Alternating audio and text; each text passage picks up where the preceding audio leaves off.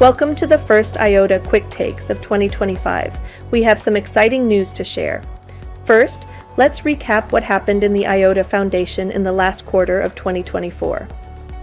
Head over to our blog for the latest quarterly progress report for updates from all our busy teams, from tooling and DevOps to legal and product adoption.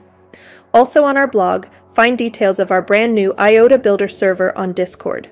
It's designed for developers, validators, and tech fans to collaborate, access resources, and build on IOTA without any distractions. Voting is now open for IOTA token holders on the new IOTA Growth Initiative proposal to raise public awareness and on chain network metrics.